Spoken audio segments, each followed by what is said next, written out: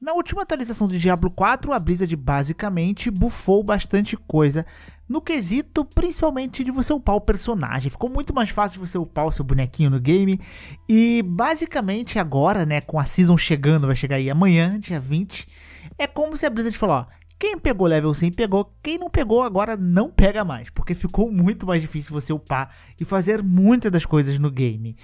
E agora com o patch chegando, né, é, essa atualização trouxe diversas reduções e muitos nerfs tudo no jogo, basicamente. Quase tudo foi nerfado neste game e o que foi bufado né, nada muito expressivo.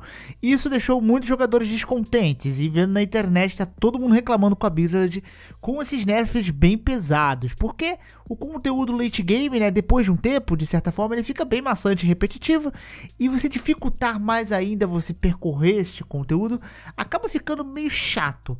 E basicamente você não pega mais level 100. Eles parecem para mim que foram pro caminho do Diablo 2 ali e talvez os fãs de longa data possam curtir isso aqui, mas os jogadores mais casuais talvez não, vocês vão entender. Então antes de começar o vídeo, não se esqueça de deixar aquele seu like, se inscreve aí no canal, não se esqueça, clica no link na descrição para participar para concorrer a um Play 5, são dois Play 5 e um Series S. Então vai lá e vamos nessa pro vídeo. Bem, primeiro vamos falar de algumas adições que a gente teve aqui, que foi relacionado à nova temporada aí do game, né, que tá chegando. Então a gente teve aí o recebimento de seis novos itens únicos, né, com efeitos únicos para bárbaro, druida, necromante e, né, para aí Rug e feiticeiro. Então você tem ali para maga, né, você tem diversos tipos de itens aí diferentes e que dão efeitos que você pode conseguir dropar. Novos aspectos lendários estão chegando, né? São sete no geral. Eu não sei se vão vir mais depois né, na temporada, mas basicamente é, você tem vários aspectos, tanto aspectos gerais para todas as classes, quanto aspectos específicos para classes estão sendo adicionadas aí. Tá? Vou deixar o link do patch aí se quiserem traduzir e ler porque senão vai ser mais de uma hora de vídeo lendo tudo aqui. Eu quero focar no mais principal, né? Correção de bugs foram centenas de bugs consertados. Aqui é muito bug, véio, muita coisa de classe, tudo foi muita coisa arrumar. É engraçado que o jogo lançou já um tempinho aí, né? Mais de um mês. E cara, é muita coisa sendo consertada. É engraçado que eu não tenho muitos bugs recentemente no game. Mas, né, deve ter bastante coisa ainda que a galera tá enfrentando no game e vocês estão corrigindo. Mas enfim, vamos lá, né? Correções principais do jogo, né? Uma das coisas que foi falada já na temporada que chegaria é que os altares de Lilith agora vão desbloquear para todas as contas. O desbloqueio de mapa também é para todas as contas, então, né, antes você desbloqueava o mapa mundo todo e você criava um novo personagem, você só tinha algumas cidadezinhas desbloqueadas se você escolhesse pular a campanha. E você tinha que explorar o mapa todo de novo, que não fazia muito sentido, porque é um mapa muito grande, né? E ficava chato. E agora basta você entrar na sua continha ali, né, no personagem, que você tem o mapa desbloqueado, e sair, e depois vai sincronizar em todos os outros personagens, tá? Eles melhoraram, por exemplo, os baús silenciosos, que ninguém ligava para isso. Aumentaram, por exemplo, o renome das quests, aumentaram de 20 para 30, né? Quanto você ganha e quanto você faz as dungeons também. O que é legal para você completar os renomes ali e pegar, que era bem chatinho de fazer de certa forma. Eles mexeram também em nivelamento uh, de inimigos relacionados ao World Tier. Então, áreas de mapa agora vão ter uma escalazinha de levels de inimigos diferentes, tá? E vamos chegar no primeiro grande coisa aqui que impacta bastante no level do jogo, que é a experiência, né? É, eles mudaram muita coisa, mudaram muito, eles nerfaram muita coisa, ficou muito difícil de upar no game. Bem, um buff que a gente teve aqui foi na árvore dos sussurros, né? Quando você completa eles aumentaram ali a XP. Eu testei aqui, eu acho que eu ganhava em volta de 120 mil de XP e eu ganhei 600 mil, então, tipo, acho que aumentou 5 vezes essa experiência ali da árvore dos sussurros. Eu não sei se chega a ser viável ficar fazendo a árvore do sussurro, mas ficou bem melhor, né? Então, assim, não é tão inútil. Era inútil antigamente, eu achava, tipo, não fazia, né? Agora ficou mais interessante. Talvez possa valer a pena, não sei, né? Mas vamos aqui aos grandes problemas do jogo, que foram esses nerfs de experiência do game. O que que acontece agora? Agora ficou muito difícil de upar, muito mais difícil de upar mesmo, tá? Antes, o que que era, como que era, né? Quando você, o bicho estava um level acima, você ganhava mais 15% de experiência, dois levels acima 20%, E 3 levels acima era 25% a mais de XP que você ganhava. Então a melhor forma de você upar no Diablo era você fazer ali as masmorras pesadelos com inimigos 3 níveis acima do seu, né? Você podia calcular, fazer esse cálculo aí, né, de qual seria o nível da masmorra para você fazer e você aproveitar ter o maior proveito de experiência.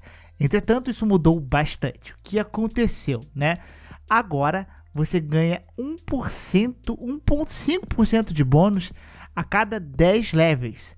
Ou seja, inimigos com level mais um level acima é 1.5%, mais 2 são 3% e 10 levels acima são 15%. Ou seja, a experiência que você ganhava matando inimigo do mesmo level que o seu, agora tu só ganha matando inimigos de 10 levels acima. Então mudou, você vai ter que fazer mais morros pesadelos com inimigos 10 levels acima do seu. Isso vai deixar os inimigos mais difíceis de matar, mais difícil de você sobreviver. Então vai demorar mais para você ganhar XP. Então vai ficar muito mais difícil de você upar. Em contrapartida, na season nova a gente vai ter um negocinho que a gente pode adicionar lá, que a gente pode aumentar a XP que a gente ganha. Não sei o quanto isso vai balancear em relação a este nerf. Mas se você tá buscando pegar level 100 com um personagem que tá fora de temporada, maluco, vai ficar muito difícil. Não sei nem se vai ficar viável você perder seu tempo aí pegando level 100. Talvez jogue a temporada vale mais a pena, tá? Então diminuiu bastante, isso daqui foi um principal, um grande nerf assim, em relação à experiência, para quem tá querendo pegar level 100. Outra coisa que eles mudaram também foi é, o level dos inimigos em relação ao World Tier né, que você tinha quando você estava level baixo, né? Você podia pegar é, amigos seus, ele dá exemplo aqui, né? É, quando você entrava numa dungeon e você derrotava level monstro level 100, o seu amigo ele ganhava experiência de monstro level 100 porque estava matando monstro level 100. Agora, né, quando você entra numa dungeon e mata monstros level 100, ele vai ganhar a experiência de um monstro level 11 se seu amigo estiver no level 1, né? Então vai ser muito mais difícil. Tipo, não vai valer a pena mais agora você pegar um amigo ou, né, pedir para um amigo seu forte upar um personagem novo do seu. Você vai ter, meu amigo, que upar tudinho aí na raça mesmo, tá? Claro que você ainda pode ser carregado, mas vai ficar muito difícil, porque vai ter outro pequeno nerf que os inimigos vão escalar mais agora quando tem mais gente na party. Então, o seu amigo, inclusive, que te carregaria, vai sofrer mais para derrotar os monstros. Então vai ficar muito complicado você carregar um amiguinho aí, né, upando é, ele agora, né, no power level. Não vai ter muito mais disso, tá? Então, em geral, isso aqui, questão dos levels, geral, você teve uma redução massiva em tudo, tá? Em upar o personagem, upar os seus amigos, se upar, enfim, ficou tudo mais difícil de upar. Menos ali os favores, que você ganha um pouco mais de XP, mas também não é algo que você talvez vá focar muito ali para fazer não. Marés infernais, Helltides, né, ficaram um pouco mais dificinhas. Quando você entrava na Helltide, os monstros tinham dois levels acima do seu, agora estão três levels acima do seu. O baú, aquele baú principal que a gente focava pegar de 175, né, cinzas, agora ele custa 250, cara. Né? Ele aumentou agora aquele baú de 175 que vinha. Era, era a vantagem você pegar aquele baú, né? Porque ele vinha muito mais drop. Agora você precisa de 250. Aumentou quase 100 ali cinzas aberrantes que você precisa para abrir o baú. Então ficou muito mais difícil de abrir esses baús ali. Às vezes eu consegui abrir até 4 baús por Helltide, dependendo do horário da sua velocidade. Ficou muito mais complexo. Teve alguns ajustes de drop rate aumentaram o drop de ancestrais e itens sagrados nas dungeons pesadelos, né, dobrando aí de 5 para 10%. E as dungeons pesadelo agora tem 50% de chance de dropar um segundo item lendário, tá? Então ficou interessante. E as dungeons pesadelos agora dão 3 itens quando você completa ao invés de 1. Um. Tá? Então isso aqui ficou bem bacana também. E os monstros que eu falei, o HP do monstro escalava de 85 quando você adicionava pessoas na party, agora ele aumenta 100% a cada pessoa da party. Né? O que eu falei, ficou mais difícil de upar o amiguinho, os monstros estão mais tanque, estão ah, com mais vida, né? E nós temos também uma série de nerfs em itens no geral aqui, tá? São várias coisinhas que realmente uh, nerfaram, coisas até que podem ser específicos para classe, etc. Né? Uma coisa que, por exemplo, agora, né, que força, destreza, inteligência e determinação, eles eram 50% mais fortes nas armas, agora são 25% mais fortes. Então você vai ter uma diminuição né, desses atributos dependendo aí na sua arma, ou seja, você ficou mais fraco em relação ao ataque. Eles também, né, diminuíram, por exemplo, o cooldown reduction que você vai ter em afixos dos seus itens. Tudo isso aqui é aqueles, aqueles status que você tem nos itens, né? Que você pode trocar, por exemplo, são os afixos, né? Então você tinha, por exemplo, redução de cooldown, agora a redução de cooldown, o efeito dela é 30% a menos. Você vai encontrar itens com 30% a menos. Eles diminuíram muito, por exemplo, o dano de, de crítico, dano crítico, né?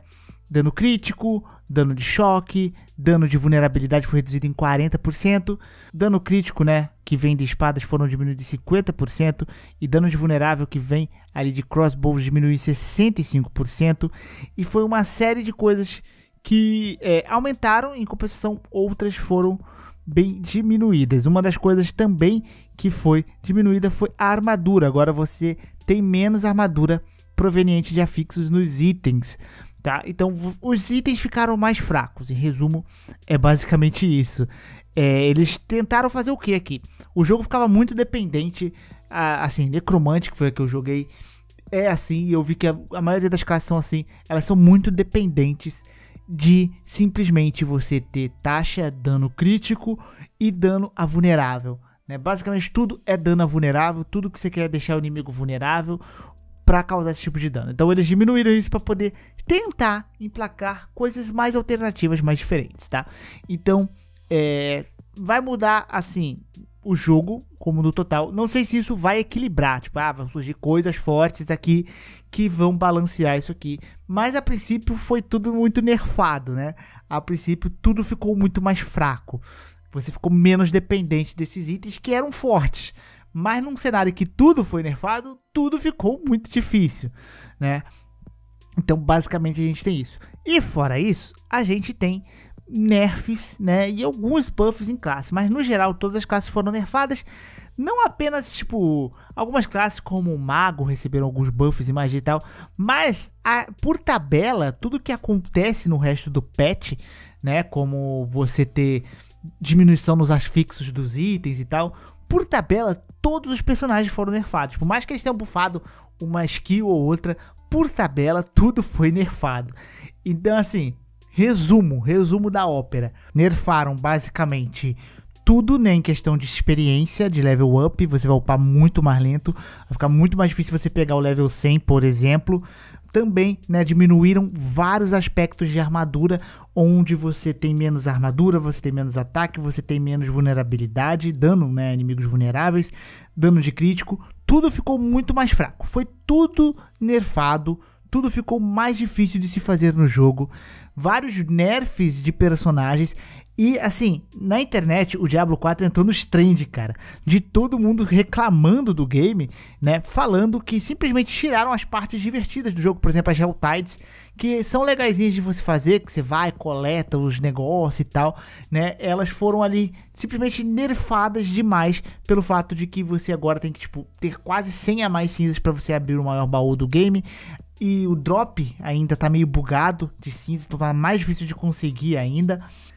Os, cara, o, a galera que joga de mago simplesmente está assim, muito bolada, porque o mago a princípio foi o mais afetado, não pelos nerfs de classe ali que você vê que teve vários buffs e skills, mas pelos nerfs na questão ali dos itens, né? Armadura, etc. Um, cara, o mago ficou muito ruim e a galera tá falando que o mago vai ser a classe mais fraca para se jogar aí na temporada que vai chegar. Então não vale a pena jogar de mago, jogar mais de outro personagem, né? Não sei se eles vão implementar buffs disso, mas a galera tá reclamando demais do mago. Então a galera tá falando que basicamente o jogo ficou ruim, ficou sem graça, ficou mais chato. Né? Eles tiraram as coisas legais do game e deixaram mais chatos, mais enrolado de se fazer. Então a galera não curtiu muito esse patch aqui. Entretanto, né, na minha opinião, acho que a gente tem que esperar para ver como é que vai vir a temporada aí, porque, né, é um patch mais de temporada. Então eles querem frear aquela galera de assim, chegar já acabando com a temporada, pegando level 100 muito rápido, né? Pra galera competir mais, né? A temporada é basicamente uma competição de quem pega level mais rápido, né? Então, acredito que foi isso. Talvez mais pro meio da temporada a gente tenha buffs novos, né, que vão melhorar as classes e vão facilitar novamente, assim como a gente teve, né, no último patch, que era isso, ele melhorou a XP, melhorou a XP ali da, das Dungeons Pesadelos, por exemplo, e deixou a galera upar, né? Agora não, agora, agora vamos frear e vamos começar. Enfim, né? Muita gente tá chateada, muita gente tá mostrando que tá desinstalando o game e tal. Então eu acho que eventualmente a Blizzard vai dar uma afrouxada nisso também. Mas em geral, simplesmente, né? Acabou com as Tides aí de certa forma, diminuiu bastante, a galera bem mais chateada. É, cooldown reductions, acabou com os, os, os magos aí. No geral, foi bem assim, ruim, né? Assim, questão de nerfs mesmo. Não teve muito nerf. Mas é isso. Espero que tenham gostado desse vídeo. Um grande beijo, um grande abraço, um beijo no popo. Até a próxima e tchau!